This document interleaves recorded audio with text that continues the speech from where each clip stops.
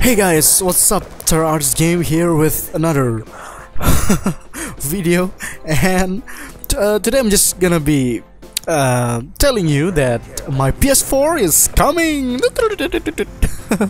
And uh, you know I'm actually very very excited but there's one thing that makes me kinda I don't know. So basically and why am I uploading this gameplay? Uh, well uh, you will understand in a second. So basically I pre-ordered my PS4 and uh, the good news is it's gonna be coming tomorrow. Yay!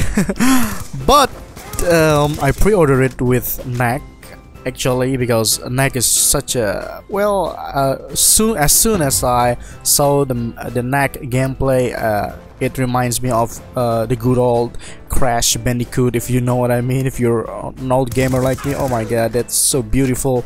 And I'm pre-ordered the Knack but the store said um, it's uh, you know surprisingly um, sold out next sold out and then um, I'm asking for um, Killzone. What about Killzone? Also sold out and I'm asking the other games sold out. Assassin's Creed 4 Black Flag sold out.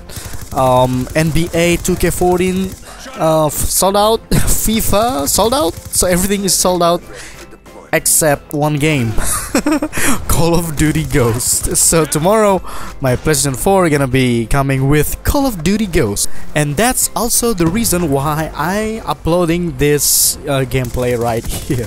Uh, just refreshing you know something about uh, Call of Duty games. Alright so well hopefully it's gonna be good because well I, I heard a lot of you know good things about uh, Ghost in PlayStation 4 you know 1080p, um, 60 60 frame per second. So yeah, tomorrow I, I'll, I'll be um, I'm gonna be uh, uploading uh, some clips so you guys can you know can see it.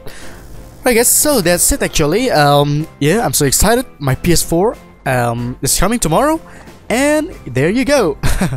I'm gonna be playing Call of Duty Ghost. Alright guys, so uh, thank you for watching this video and uh, yeah, uh, by the way, look at this. Uh, you, you guys ever heard of green lobby?